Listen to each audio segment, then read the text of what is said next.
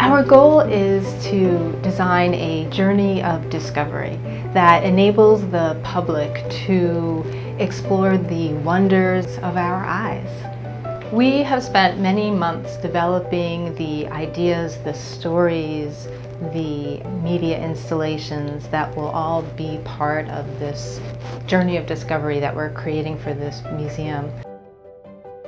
We are at the point where we have these things developed, we've broken ground, we've knocked down walls, and we're starting to build out this experience and everything that will really make this museum come to life.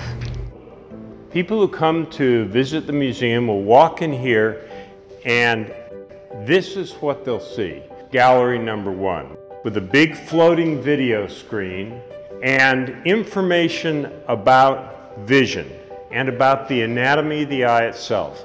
The stuff that we as ophthalmologists take for granted, but really is not something that's part of the lexicon of the typical American. We have a super talented team of architects, designers, content producers to create this experience that will be engaging for people from all walks of life. It's really exciting. We anticipate, according to our consultants, that we'll have at least 30,000 people come through here in the first year of the museum alone. Come visit us, support us. This is something that you're going to be very, very proud of. Thank you.